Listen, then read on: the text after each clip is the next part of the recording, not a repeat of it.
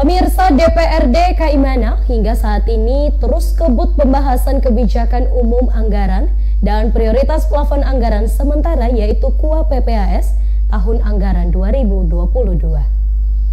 Dipastikan pembahasan akan molor hingga pekan depan sebagai akibat tidak disiapkannya rencana strategis atau Renstra dan rencana kerja atau Renja pada masing-masing OPD.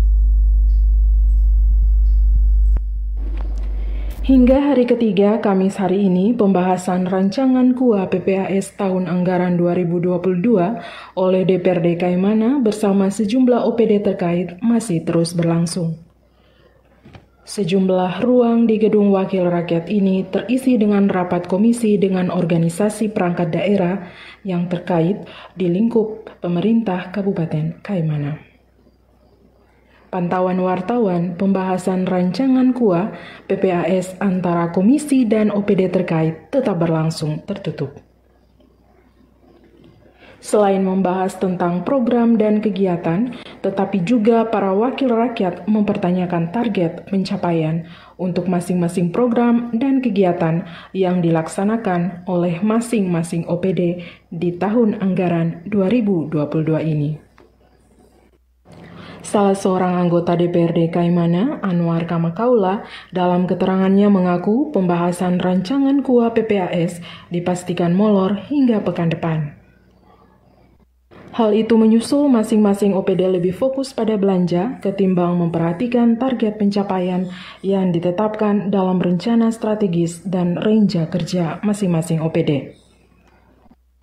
Menurut dia, jika hal ini terus-menerus dilanjutkan, maka berapapun besarnya anggaran daerah belum mampu meningkatkan kesejahteraan masyarakat di wilayah ini. Sesuai dengan agenda kerja yang disusun oleh Badan Musyawarah, rapat kerja konsultasi antara Badan Anggaran dan Komisi-Komisi Dewan tentang rancangan KUA dan rancangan PPAS tahun anggaran 2022 akan berlanjut hingga selesai 25 Januari 2022 mendatang.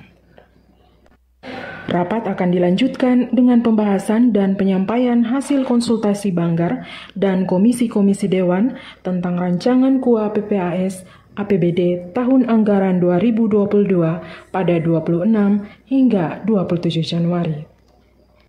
Sementara pada 27 Januari 2022 akan dilanjutkan dengan rapat persetujuan rancangan KUA PPAS APBD tahun anggaran 2022 dan dilanjutkan dengan rapat pembahasan penetapan dan persetujuan terhadap Ranperda APBD tahun anggaran 2022 yang diagendakan akan berlangsung pada 28 hingga 31 Januari 2022 mendatang. Dari Kaimana, Papua Barat, Tim Liputan Kabar Triton mengabarkan.